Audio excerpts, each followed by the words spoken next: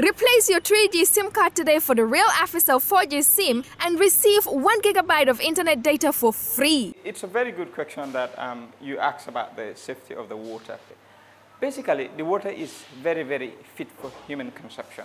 Did you understand? These water companies has been running almost for five years, since 2013.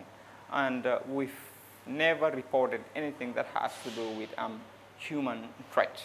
Uh, we have water since we have started 2013. We have all sort of every year's batch.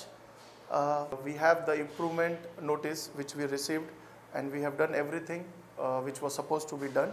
And the water was always good, always clear. We, myself, I drink, my family, everybody, we have so many Gambians working here. Everybody consumes the same water. We got clearance from food and safety authorities that the water is clean because they had taken samples from the source of the water, the bottled water of the old dates and everything has come clean.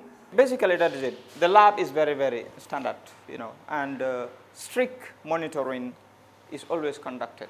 Like I said before, um, we have the RO plant system. Before production begins, um, we make sure that 8.45, because 9 o'clock production begins, 8.45 an analysis is done through all the process. So if there is anything, we will have a picture of what to do. So, you know, and uh, thank God we've never identified like uh, such a human risk when it comes to the water. The water is always safe for drinking. It's 100% okay.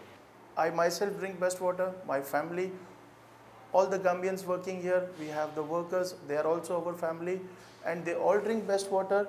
We will always take all the measures at a very good level to serve the quality product and this will continue. You know, we are here to give a quality product, not only a commercial product.